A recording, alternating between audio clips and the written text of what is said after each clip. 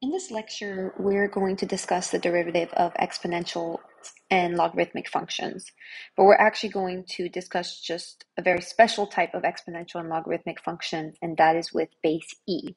So the two functions we're going to look at is f of x is equal to e to the x, and f of x is equal to ln of x.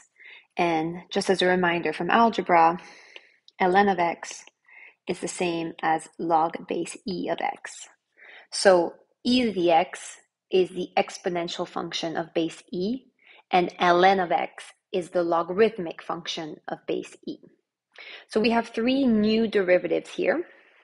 The first one, which tends to be some people's favorite, it's really easy to remember, it's nice, it's that the derivative of the exponential function e to the x is actually e to the x. So the derivative is the same as the original function.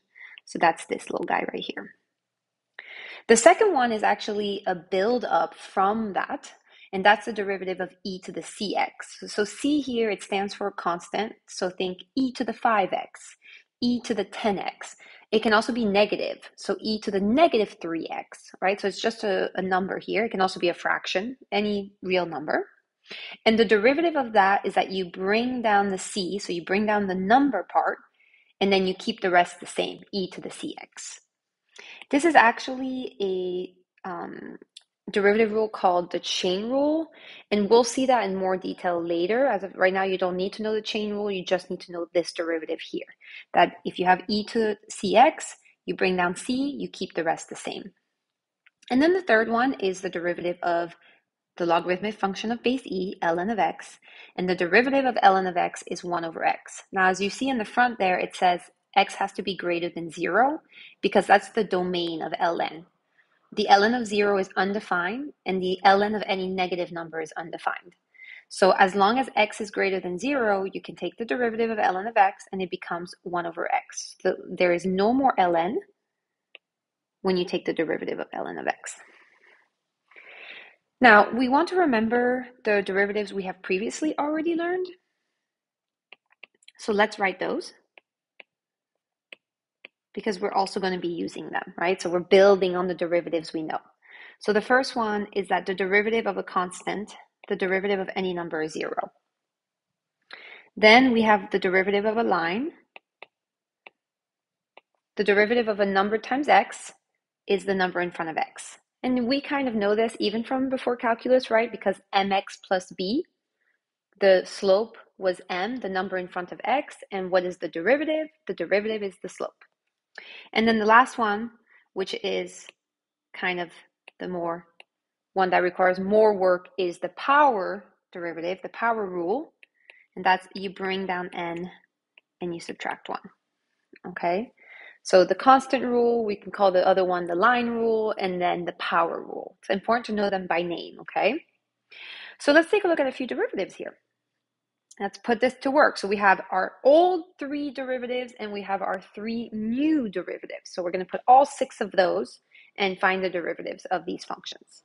So the first one here, we have y is equal to 6e to the x plus e to the 4x minus 14x squared plus 5 over x. Now, the way that you begin any derivative is to always ask yourself, does this function require me to use any algebra before I can use any of my rules? And there is one term here that does require that. And the term that requires that is this term at the end. Because I don't, I need the x, I can't have the x in the denominator. So I'm going to have to bring that x up to be with the 5. All the other terms are going to stay the same. So the first term stays the same, the second term stays the same, the third term stays the same, but the fourth term becomes x to the negative 1. And now you can begin your derivative.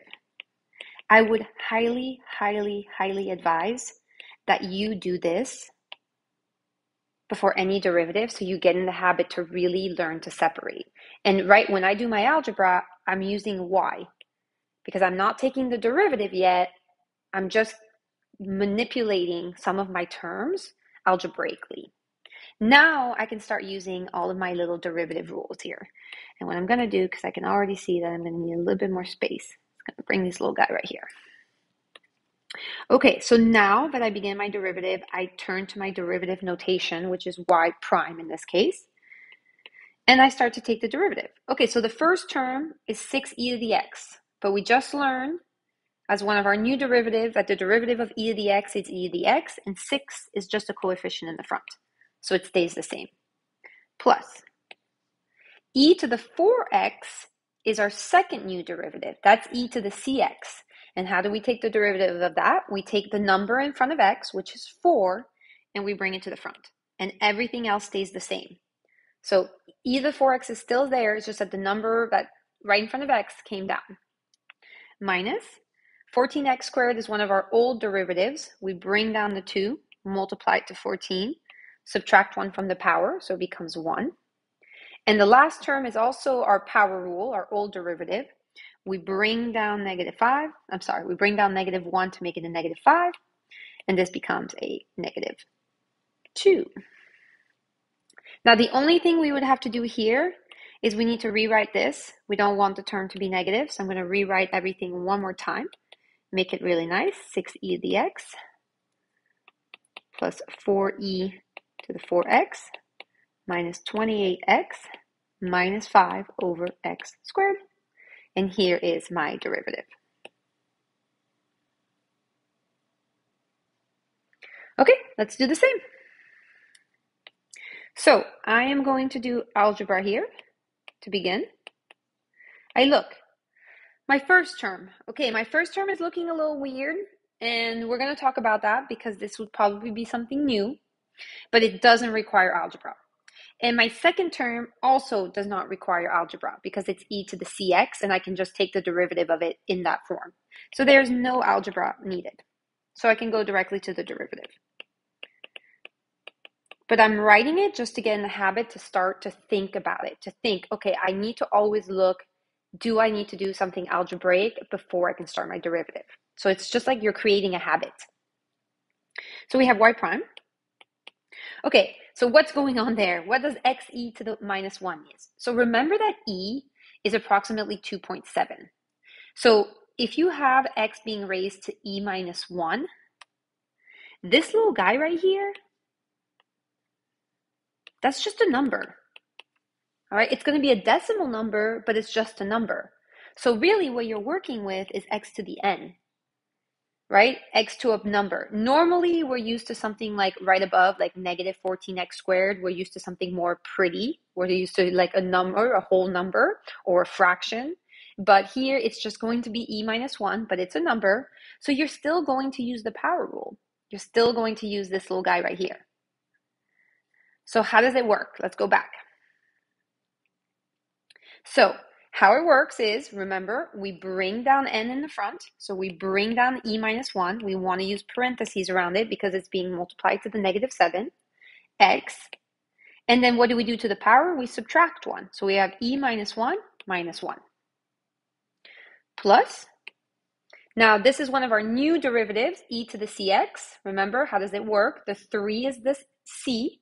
We bring down the 3 only, so multiply with the 2, which becomes 6 and everything else stays the same. A common mistake here, I would say, is people want to do 3x minus 1 because they're used to subtracting 1 from the power. But you really just need to remember that e to the cx, you don't subtract 1 from the power. You just bring down the c. So we can just clean this up a little bit. I will leave this in parentheses. You could distribute the negative 7, but you would have to keep it in parentheses. And then this will turn to e minus 2 because you can combine the negative 1 and negative 1 and then this would stay the same. So all I did here was just uh, combine the e minus 1 minus 1 to e minus 2. Here's my derivative. Let's do another one. More practice better. Okay, let's begin. Algebra. Okay, 13x cubed doesn't need any algebra. It's ready to be derived. The second term does need algebra because I can't take the derivative of the square root of x in radical form. I'm going to have to change it to fraction form. And the last term is going to be ready to go. It's ln of x.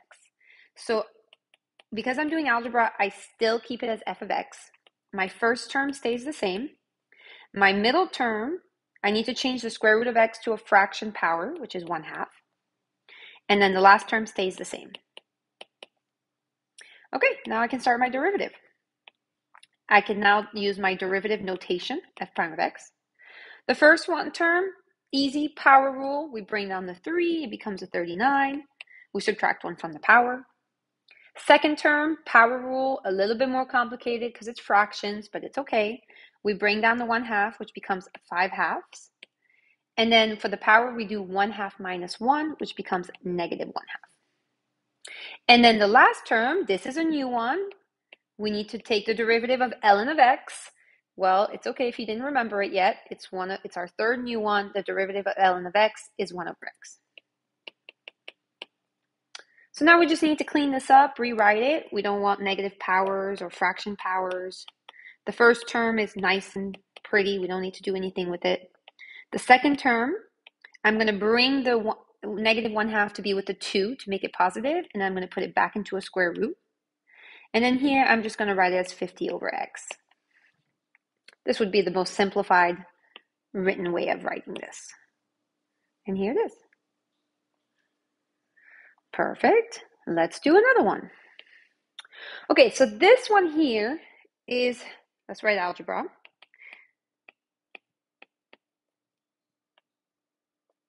Is going to require a little bit of algebra that we are going to write the rules here, the ln rules.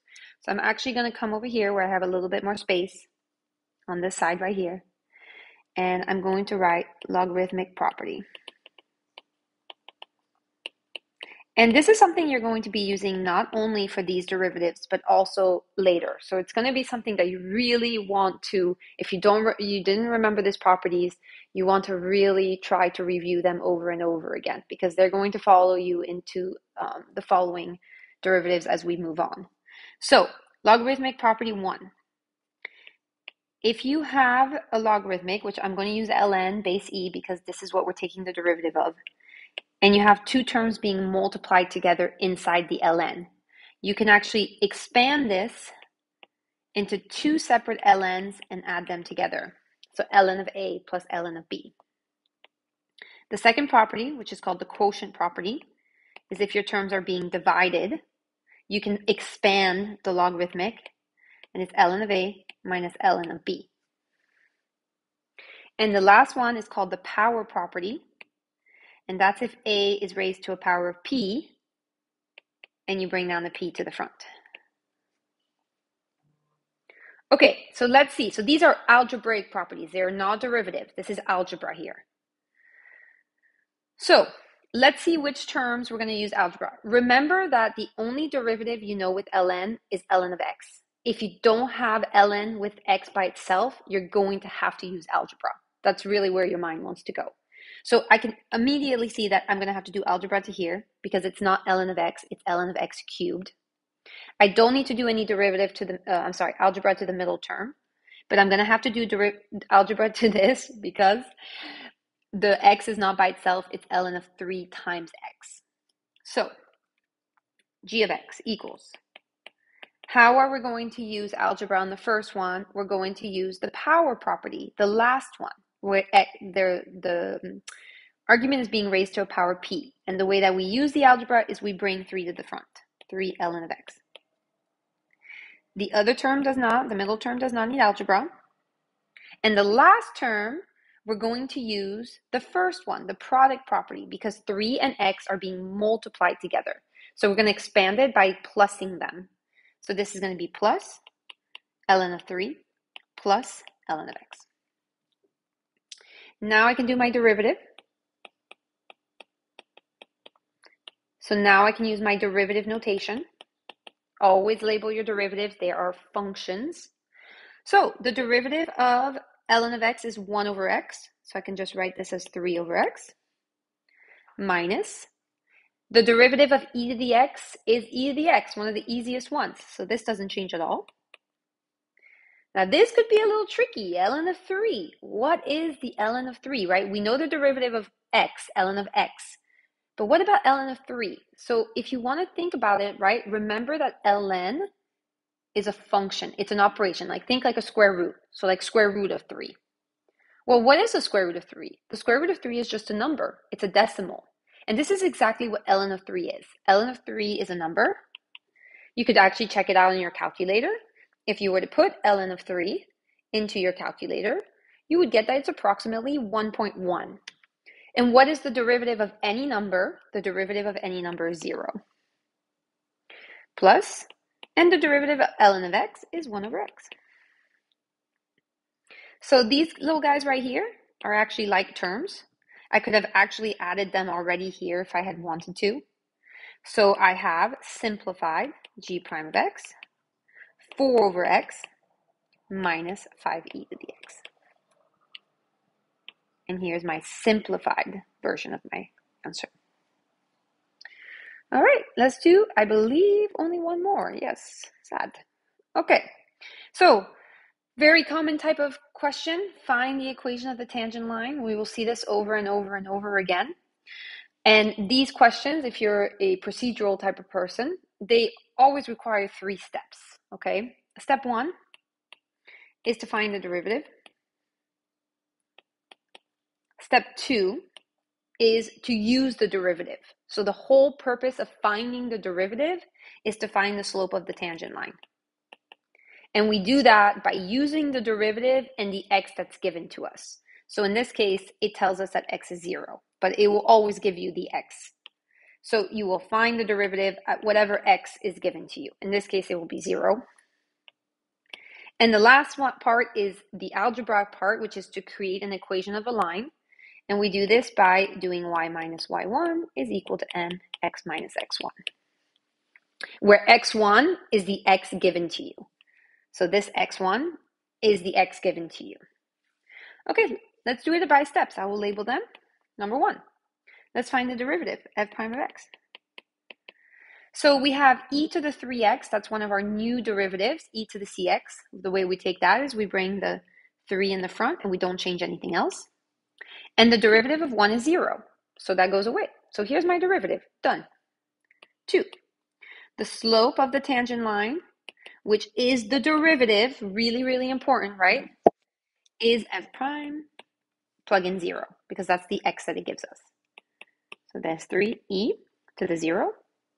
A number, a base to any to zero is any base to zero is always one. So this is three times one, which is three. And if you were unsure of yourself, you could put in the calculator and it would give you the same answer. So here's our slope, three. So we know that m is 3. We know that x1 is 0. But how do we find y1? Well, anytime you want to find y's, you always use the original, right? The original function gives you the points. So that means that we're going to plug in 0, our x, into our original function. That's going to be e to the 0 plus 1. But e to the 0 is 1, so 1 plus 1 equals 2. So this is 2. And now we can use our y minus y1. So we have y minus 2 is equal to 3x minus 0.